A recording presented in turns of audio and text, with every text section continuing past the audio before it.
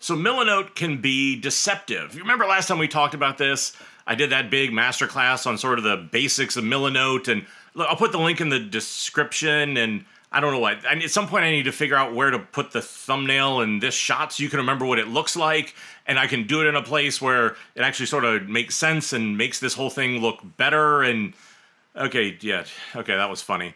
So anyway, what I want to do today is I want to be able to sort of go beyond the basics because that's the problem with the tour. You can do anything. Is in my experience, most of the time you don't do anything because there's so many different possibilities. Well, now today, what I want to do is I want to show you a lot of the tips, a lot of the tricks, a lot of the things that I've learned in using this program. A lot. Some of them maybe you've never seen. Some of them aren't documented. Some of them are just, they're all things that are going to make you faster. They're going to make you better. They're going to make you more creative. So stick around because I guarantee you, you're going to find out some stuff you definitely probably didn't know before. Let's get into it.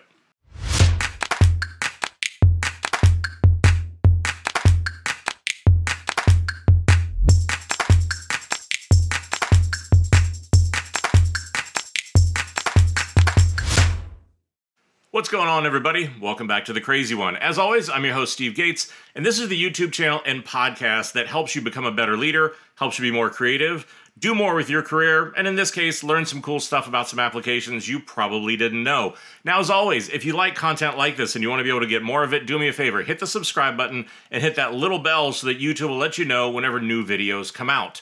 Now today we're to talk about Milanote. And one of the things you're to notice about this video, and it's actually in all the videos that I do, is if you look down in the timeline, there are to be four different chapters. And we're to do that because we're to cover a lot of different ground. You're probably to come back and use this video as a reference. So whenever you do it, it's to make it easier for you to jump right into where it is you want to go. But the four things we're to cover today are first, how just what are some of the neat tips and tricks for around creating notes? There's a bunch of things that are to make you work a little bit faster, do some things you maybe didn't know. So we're to start with that. Then we're going to go into how do you navigate around a Milanote. You can have a lot of notes, a lot of boards. It can be sort of hard to figure out where things are. So we're going to talk about some tips and tricks around that. Then we're going to talk about working with notes. So there's a lot of features, and there's actually probably a lot that you can capture and put in there that you don't know about. So we're going to spend a good chunk of time walking through what all those different variations are.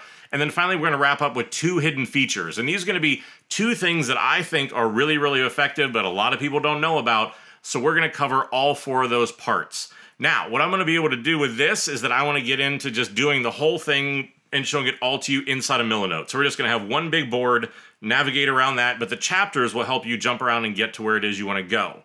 Enough talking. Let's jump in and let's start looking at some of this stuff.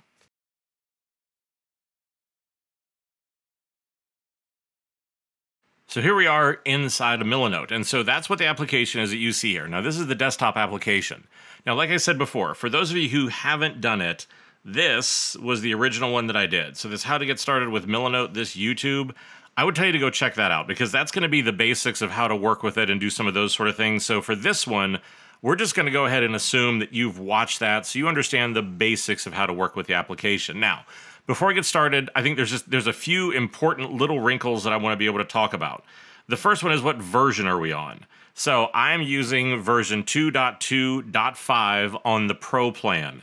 Now the version is important because again, they roll out new features, things are going to change, stuff is going to be different, but that's the version that you're going to want to be able to know and the Pro plan is going to make a little bit of a difference. And now, just to be clear because this is something that you should think about or ask when you watch these videos, no, they are not paying me anything. I pay for the pro plan on myself, so this is not some influenced review or video or anything like that.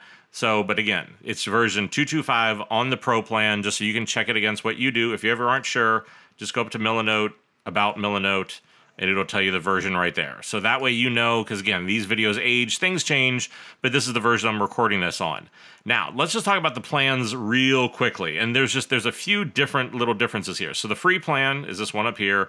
The pro plan's down below. The big difference is the free one's going to limit you to just 100 cards. The pro plan's are going to give you unlimited cards. The files basically are just, you're only going to be able to do 10 files on free. You can do unlimited on pro. The size of the images is going to change a little bit. So it goes from 10 megs up to 100, and then other files go from 50 megs to 5 gigs. Now, again, that's not going to make any influence for what we're going to change and what we're going to go through today, but just in case you're wondering what's the difference between the free and the pro plans, it's just things like the number of cards, the how many files you can hold, and file size. That's going to be the only real difference. Now, the other thing to call out is that there is this Milanote Help Center. And so whenever you come here, it's this web page that they've got. And now the reality is is that it's I mean, if we're being honest, it's okay. I, have gone through this. I've looked through it a bunch of different times. There, are, there are things that are on here from how to get started, how to optimize your work. The challenge is, and look, I get it. There's a bunch of information in here that just isn't right. And it's either outdated or if you do it, it actually does a different kind of functionality. And again, I think that's just simply a reflection of the fact that, like, look, I'm sure this is a small team. They're in there working on other documentation. So this isn't what they're focused on. But let's get into this. So let's jump in and let's get into this first section around creating notes.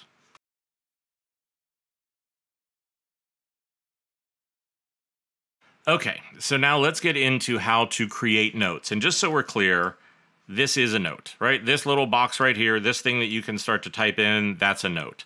Now, one of the first ones is to be able to create a shortcut to what we just looked at, because there's that, okay, I can take this and I can sort of drag it out. Well, instead of doing that, if you just double click, it'll create one. And then you can start to type whatever it is you want there. Now, that's an easy one. But okay, so let's double click and let's create another one.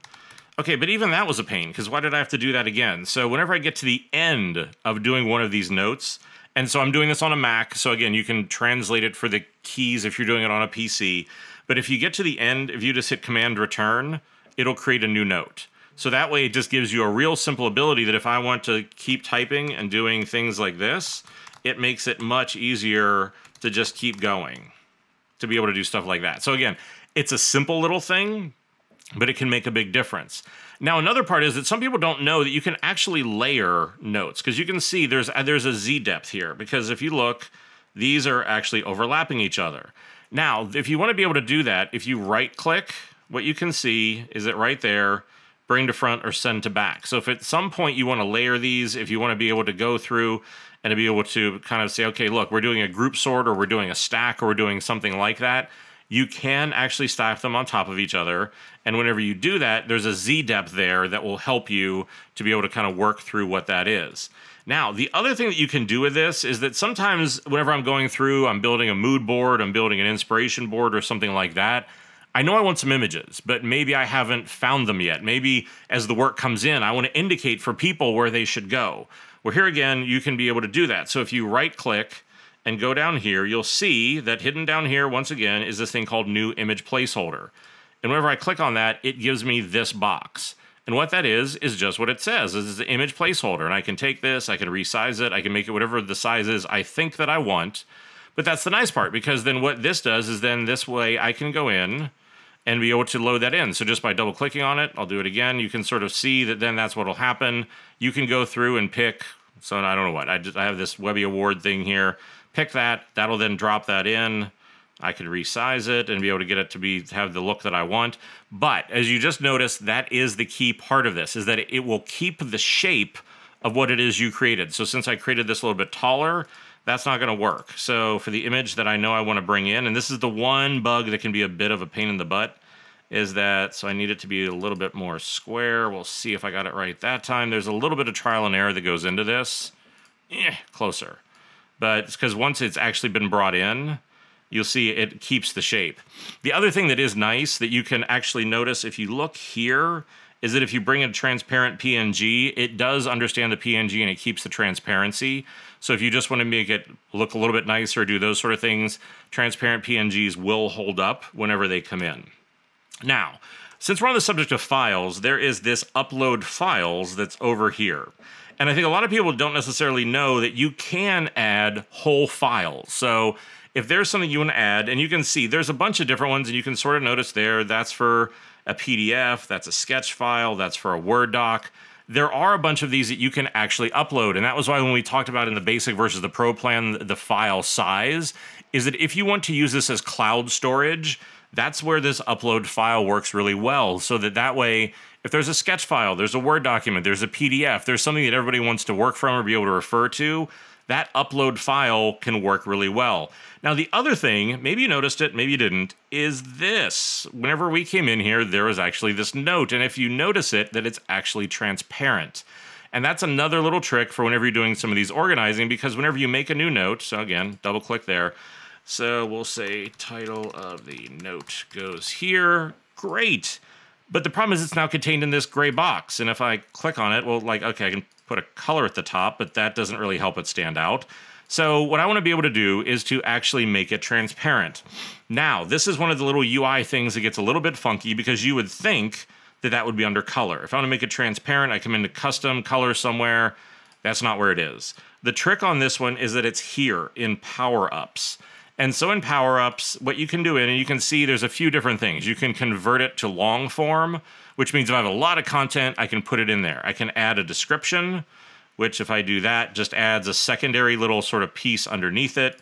I don't want to do that for this. And then as we get down to the bottom, you'll notice, ta-da, there is make it transparent where if you want to be able to do that, you can turn that on, and now all of a sudden you can see that if I want to create headers, I want to create different things like that, now that gives me the ability to do it where it's transparent.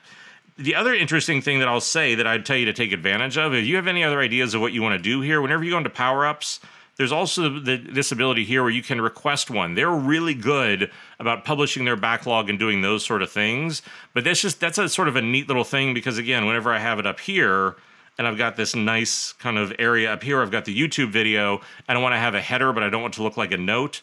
That's a really nice place to be able to use that transparent note to be able to get into that. So again, it's a simple thing, but maybe it comes in a little bit more handy than what you'd think. Now, let's get into the next section of navigating.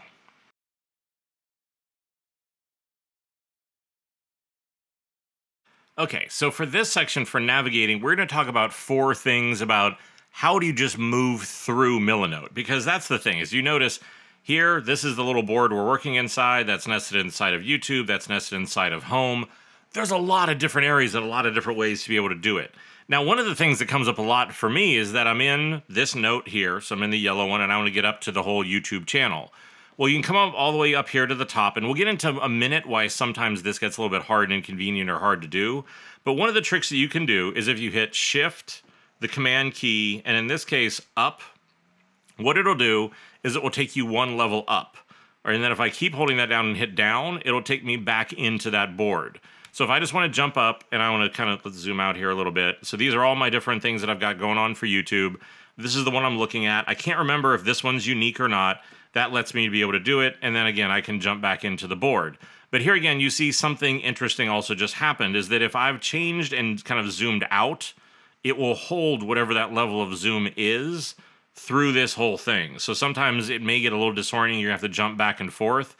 But the other part of this is to know it basically only remembers one level. So in this case, as you can see, I'm down two levels. There's the Milanote, YouTube, and then home. So if I jump up twice, it'll take a second to load. Okay, great. Now I'm all the way up on my home level. So if I do down, it goes back into YouTube. If I do down again, it doesn't do anything because it basically only has one level of memory. So it won't remember anything past that. So you can't jump more than one level with that shortcut, but it's an easy way if you just want to be able to jump up without hitting that sort of back and forth to be able to do that. Another thing that comes up for me a lot obviously, I use the program a lot, I've got a lot of different notes. How the hell do you find anything? And so for me, there's this little simple shortcut of just Command F and for the longest time, I don't know why, I never realized that this search was up here. It just sort of felt like it was kind of so far off to the side that it was just, it wasn't something that I really noticed very often.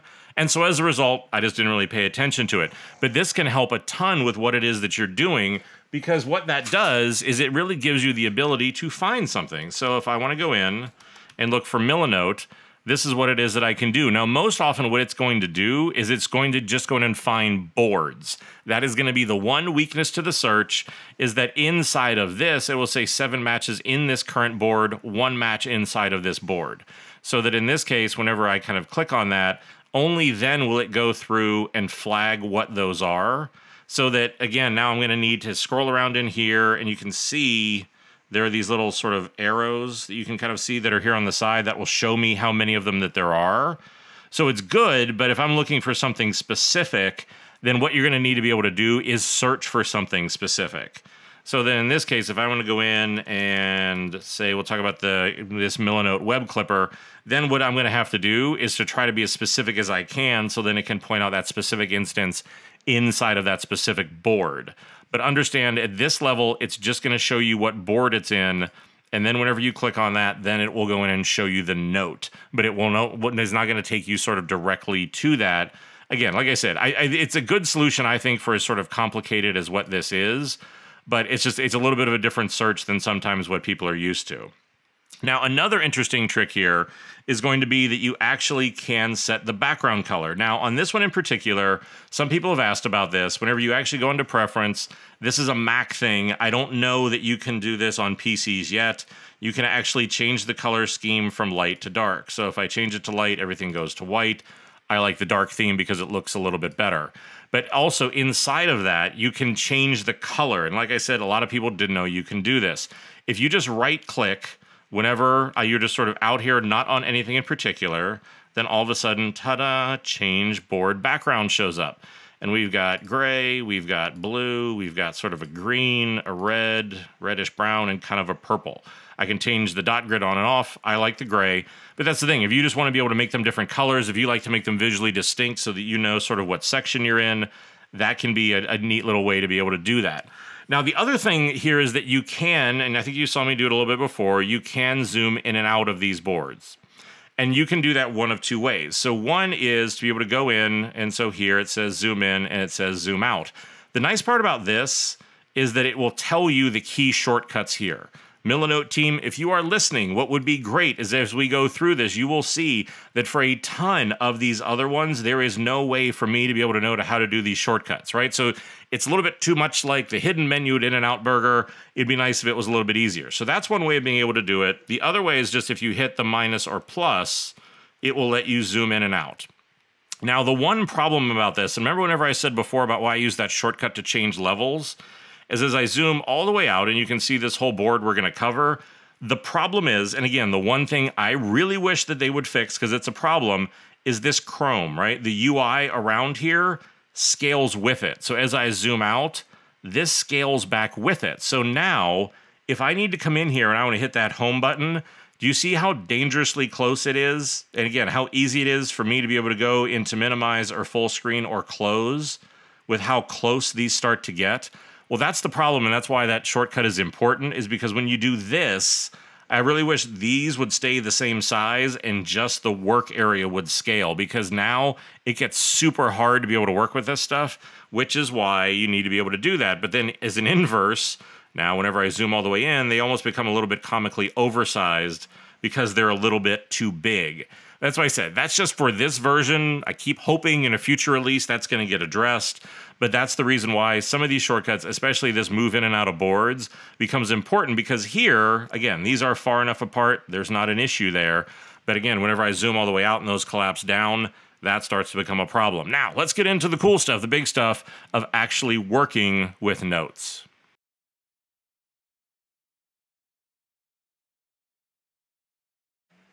So now working with notes is going to be a little bit different than creating notes because what that's going to mean is that once we've created one, ta-da, it's going to be about some of the tips and tricks that you can use to be able to do some shortcuts because what it really gets to is this bar over here.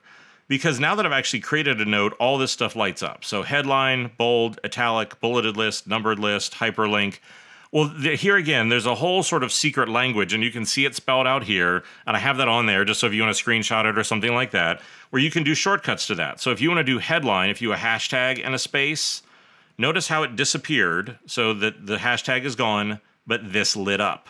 That means that now, whenever I write anything there, it's a headline.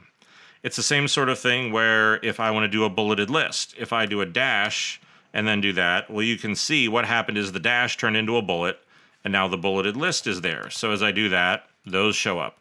Just a simple way to be able to do that. The numbered list is, now we'll see, sometimes this gives me grief. You do a one, a period, and a space. Okay, this may or may not work. Okay, it did work this time. Sometimes in previous versions, sometimes I have to do the one twice. But in this case, that's working perfectly, which is great because we're recording the video, so that's a good thing to be able to see.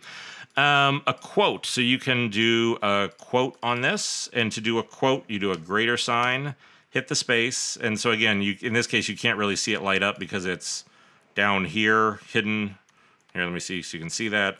So you can see there's a quote. I can do a code snippet, a strike through, or a highlight. So again, to be able to do a quote, and so I can do quote goes here, helps whenever you spell quote right. So now I have a quote that's in there. And so you can see, you can keep going through and doing all these different ones. So if I want to do a checklist to be able to do that, then it will automatically change that into a checklist. So again, that's a nice way to be able to do that a little bit faster. And bold is asterisk. So if I go through here and to be able to do that, and see, that's the thing. See, that's supposed to be bold and it's not actually taking, it's turning it into a bulleted list. So I think that's a good example of what I said, where I think the functionality on that has maybe has changed since the last release. But again, you can go through and play with these. There's enough of these that do work that that should be able to make it work for you. Now, the other thing is that a lot of people I think don't know you can embed way more content into these notes than you probably imagine. And you saw that in the beginning. And so here's a few of them, right? So there's an example, and we'll come back, of like a YouTube video. So whenever you go in, it can actually play the YouTube video inside of Milanote. So that's cool. You can do um, actually Google Maps and the maps are interactive so that if we want to talk about a particular location, I can get in there and actually interact with those. So that's really nice. You can pull in Instagram content. So if you want some crazy picture of yourself with Aaron Draplin, you can be able to do that. But it's really simple and because this is a nice part of it. So for videos, you can do YouTube video, TED Talks, anything like that. So create a note. And actually, let's flip over. I've got one of these already open. We'll go into here and go into YouTube. Let's copy that. So let's come back to Milanote. Whenever I paste that in and hit enter, you'll see it process. And then ding, there it is. So now I can actually play that from inside of here. That's a really nice one. You can do audio. So you can do audio from SoundCloud, Google from Google Maps that I showed you. You can do code snippets from CodePen. You can do images from Instagram, Dribbble, or Flickr. So here again, let's do that example. Just do the square. Go back here. I've got Instagram open. There's a photo of me in Berlin on the rehearsal day with the guys from Metallica standing in the empty stadium in Berlin. I want to pull that in. I can add a caption in here. I can do that whole thing. It automatically just detects what that is. So that's really great. I can put whole presentations in here. SlideShare and Prezi are the two that I know of right now. I could do prototypes from Marvel and I can do spreadsheets from Airtable. But that's the thing is it gives you these really nice now interactive little modules that you can put in here so you can watch the video, you can have the map. Again, like you said, you can store the file. So it starts to become a really nice repository for a lot of that stuff. Now, one of the other things that some people have seen that they aren't sure how to replicate because it comes up in the templates but they aren't sure how to do it is how do you make a color swatch, which is a really good question. Because again, if you're designing something, that comes in really handy. All you'd need to be able to do is just to take the hex value. So in this case, I already have one loaded in here. Take the hex value, drop it in there, hit return, and then it, it will immediately show you the color. So now again, if I want to be able to do color swatches, that's a really easy way to be able to do it so that I can have a bunch of these that are in there and be able to have my whole color palette. Cool. Now, lines. Lines is another one. So, if you want to be able to show organization, you want to be able to show there's this thing, then there's this thing, then there's this thing, and that there's an order to this, you can actually create lines. So, again, if you just go in, select all of them, right click, and then right there, connect with lines. Now, whenever I hit that, what you're going to see is that, okay, great, it dropped these lines in here but also over here, start and stop. So at the end of all these, whenever I hit that and I pick this, now I can show directionality. I can change the color. So let's make this so it's a little bit more readable. Great. So now I've got this from this to this. Okay. And so we'll just make it a little bit more show off. So that to the green. And then the end, we want to be done. We'll make that purple. So, okay, cool. Now we've got something that stands out a little bit. But you can also do things that are a little bit more advanced. And maybe you saw that over here. Was we have this nice little sort of curved part. So that, because again, not everything is straight. And there's an easy way to be able to do that. So let's get rid of these. Ah, deleted too much. Let's just pick the line and let's get rid of that. And you know what? Let's go back to the beginning. So we have three boards that are here, just numbered one, two, and three. Easy enough. Do the exact same thing. Pick them, be able to do connect with lines. And let's stick an arrow at the end of them.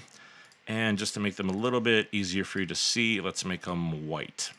Okay, now the thing to be able to notice is that here, there's this dot that's right here in the center. You can see whenever I roll over it, that now all of a sudden it turns into that two-way arrow. And what happens is whenever I grab that, I can start to bend this line to be able to make it. So if I want to be able to show this, that these actually make it look a little bit nicer, be able to pull that up there, great. Also, if I move one of these, you'll see that the arrow will go with it. So if I want to show this is more of a cycle, cool, I can do that. But that way, again, it's just a simple way to be able to do it. They're nice, they're reactive at any point. Again, you can go back in, decide where on that curve you want it to be to be able to make them the same. But it's just it's a nice, easy way to be able to sort of join that stuff together to be able to do that, and it lets you be able to just kind of create those nice, simple curved lines. So cool for that. Now let's get into it's down here, forgot where I was, these two hidden features, and let's wrap up with that.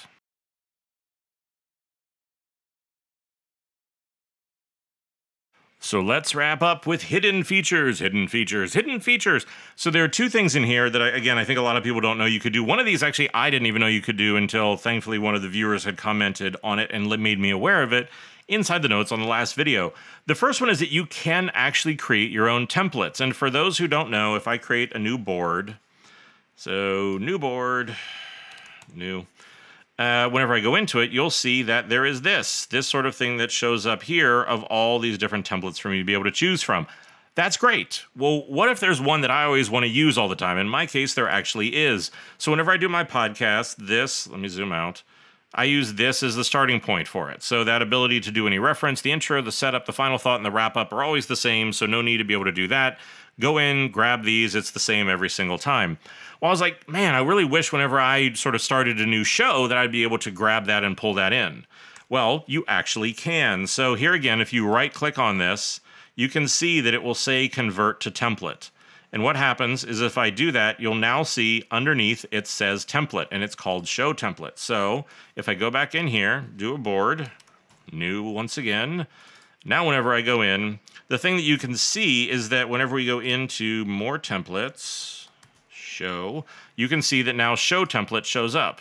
So whenever I click on that, ta-da, there's the template that I had that I wanted all the time, so that this way I can make my own custom templates whenever I do that. So it's just, it's such a simple and easy way to be able to do it. So if there are things and ways that you like to be able to set up for a brainstorm or a show or different ways of working, great, you can be able to go in and do that. Now, the other part of this is, is that sometimes maybe you want to reference this board from someplace else meaning maybe there's a big dashboard. Maybe our project has gotten really complicated. Well, I don't want to create multiple versions of this because then those get out of sync. But I want people to be able to find it or I want to be able to reference it. So another thing you can do in here that I think is sort of nice is that whenever you can do is you can actually create a shortcut to this board. So in that case, what I can do is in the same way, like you can do this on most of your like desktop applications and things like that. So if I just want to reference to it, and again, you can see that just with that little arrow, this is now the shortcut. That gives me the ability to create a shortcut that will reference this original board. So if I put it someplace else, it'll reference back to where this board is, keeping this one where it should be so that again, I don't come into some big complicated sort of thing. But Hopefully, this has helped. Like I said, these are a bunch of these little tips and tricks, and there are things like that. Actually, no, there's one last little hidden thing, which is the other part whenever you're creating a lot of this content, is you may want to grab their web clipper. And so this is, and it's, it's an extension that they have that's for Chrome and Safari.